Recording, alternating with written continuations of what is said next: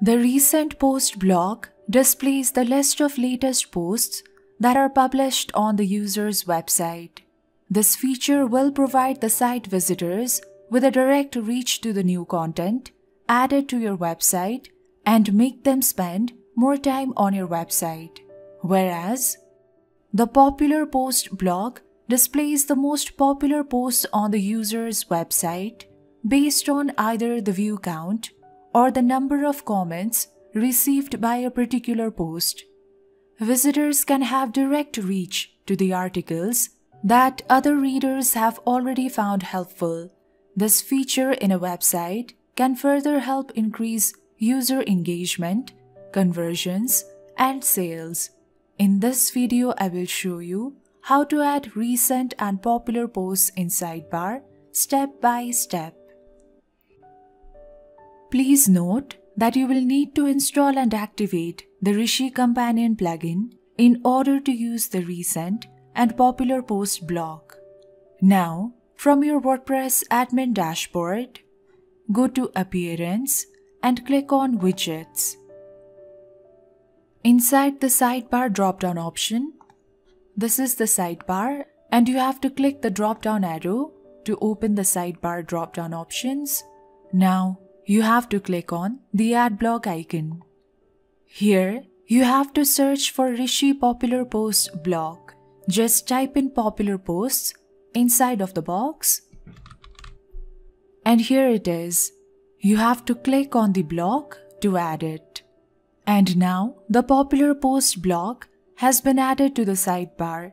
You can further configure this block with the help of the block settings on the right hand side. Please make sure that in order for these settings to display, you have to select the block. It is only after you select the block, the block settings will be displayed on the right hand side. The first option is to change the title. So instead of popular post, if you want to add in a different title, you can remove the title that is already here, then add in the title of your choice. Then you can increase or decrease the number of posts. From here, simply slide the button over or under. Or you can also increase or decrease from the box here. Then you can show posts based on the view count or based on the number of comments. I'm going to select views. Then you can disable or enable the featured image. You can disable or enable the post dates. You can also enable the views count, which will display the views count here.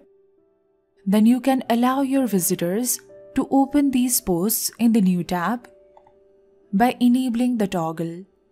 Under layout, you can select your preferred layout for the popular posts block.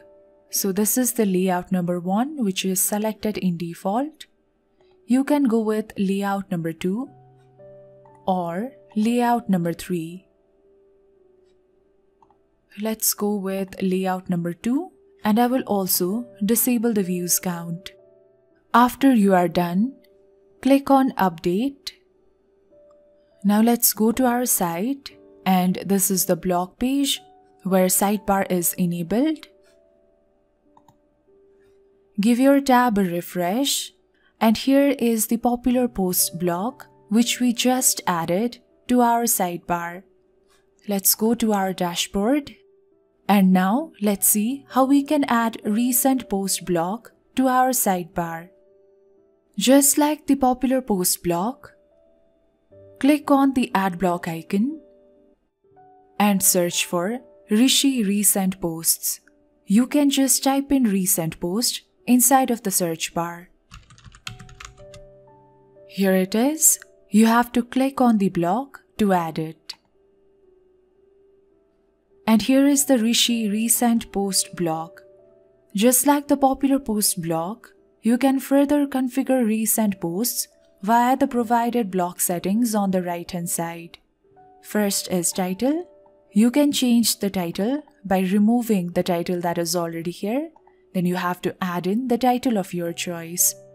You can increase or decrease the number of posts from here. Let's select 3. Then you can disable or enable the featured image.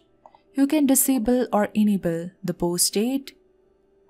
You can also enable open in new tab, which will allow your visitors to open your recent posts in the new tab. Then you can select your preferred layout for your recent post. By default, layout number 1 is selected. You can choose layout number 2 or layout number 3. Let's go with layout number 3 this time. Now click on update. Let's go back to our blog page. So this was the popular posts. Give it a refresh. And here are the recent posts. If you have any questions or confusions or if you did not understand anything, please do let me know in the comment section below. Or even better, you can directly reach out to our support team. I have added the link to creating support ticket in the description box below. Thank you so much for watching this video and I'll see you in our next video.